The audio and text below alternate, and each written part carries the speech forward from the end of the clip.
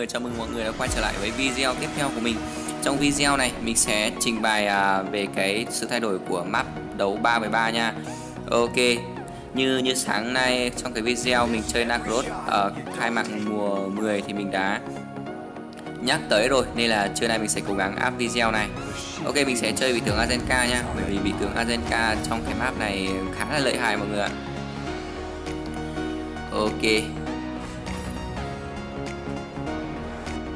À, khi vào trận đấu mình sẽ trình bày sau nha bởi vì hiện tại chọn tướng thì nó vẫn như vậy.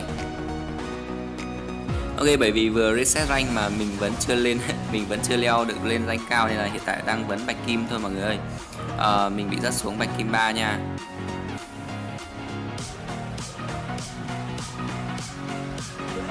Ok như vậy trận đấu của chúng ta đã bắt đầu. Wow đầu tiên vào thì thấy cái map thay đổi hoàn toàn hoàn toàn mấy tinh mọi người ơi mình sẽ đi đi check này. Wow. Vâng trụ cũng đã được thay đổi rồi mọi người Nó giống với map đấu 5 5 với 5 luôn. Ok. Vâng nhìn rất là rất là đẹp luôn mọi người ơi. Đó các bạn có thể thấy hai cái à, cái cái cái gì? Cái cái móc kia là uh, khi các bạn hạ cục tướng đỉnh sẽ được hồi máu nha. Còn cái hình quả cầu tròn tròn kia là cái gọi là khi các bạn thấp máu thì nhà chính nó sẽ gọi cung cấp cái dấu cộng ok lát nữa mình sẽ trình bày nha khi đã có cái dấu cộng đấy rồi. Ui, có đánh nhau mọi người mình sẽ phải đánh nhau với đồng đội. À, giúp đồng đội.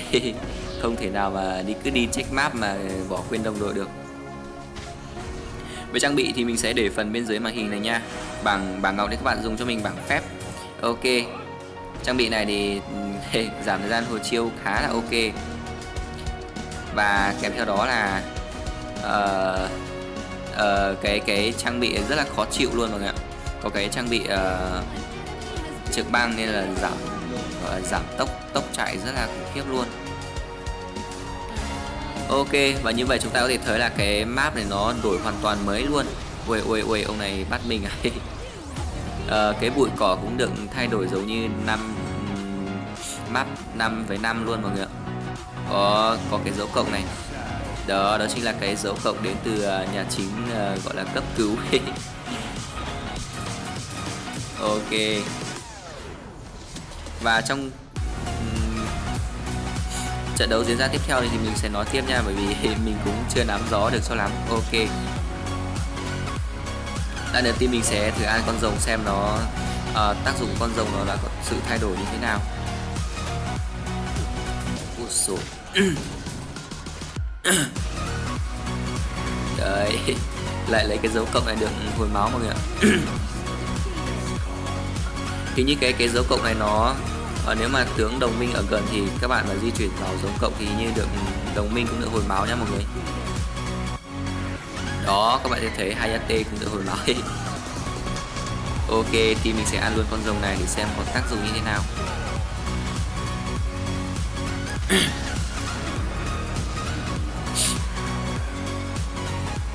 vâng ăn xong con rồng, rồng đầu tiên thì các bạn có thể thấy à, tai của tướng Azenka và tướng đồng minh nó phát sáng màu cam mọi người ơi. Và con rồng này nó tăng 20% tốc chạy và bị à, giảm 30% sát thương vào các con rồng tiếp theo. Ui đánh nhau đánh nhau to ok team mình có thể nói là com combo rất là chất luôn đó các bạn có thể thấy tai của vị tướng nó nó phát sáng màu cam cam khá là giống với cái phức hợp kiếm khi các bạn kích hoạt được cái nội tại của phức hợp kiếm. Wow không biết con rồng thứ hai sẽ như thế nào nhỉ?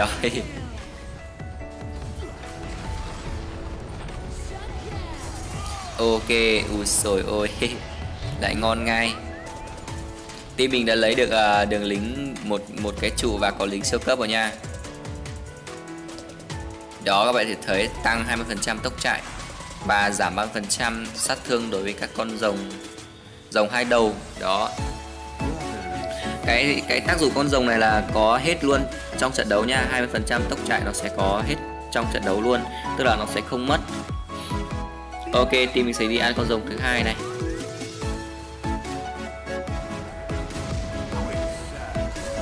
Ok, và khi ăn con rồng thứ hai thì chúng ta có sự khác bọt ở đây là Ờ, tướng Azenka và vị tướng đồng minh nó có cái gì đó vàng vàng giống như lửa đang đốt mọi người ạ đó mọi người thấy chưa wow rất là chất luôn giống giống như là đang khói đang bốc nghi ngút vậy ok quầy thằng này khó chịu nhỉ Ok và đó chính là tác dụng uh, hiệu ứng của con rồng thứ hai này. Wow. Người bốc khói, tướng bốc khói nghi ngút. và mình không biết là tác dụng con rồng thứ hai thế nào nha. Lát nữa mình sẽ check. Ok và con rồng thứ hai là sẽ giảm 15% sát thương gánh chịu. Đó. Tức là giảm mạng định 15% sát thương gánh chịu luôn. Ok. Bởi vì à, mình vẫn chưa ăn được con rồng thứ ba thì mình vẫn chưa ăn được con rồng thứ ba mình không biết là con rồng thứ ba nó có tác dụng như nào nha ok ba không mười rồi ờ nhưng mà không sao mọi người con rồng thứ ba này không biết kệ đi. Tóm lại là nó có tác dụng rất là lợi hại là ok rồi. Ok trận đấu của mình chắc đến đây cũng kết thúc rồi mọi người à, hẹn gặp mọi người trong các clip tiếp theo nha. Cảm ơn mọi người đã xem clip của mình. À, bye bye mọi người.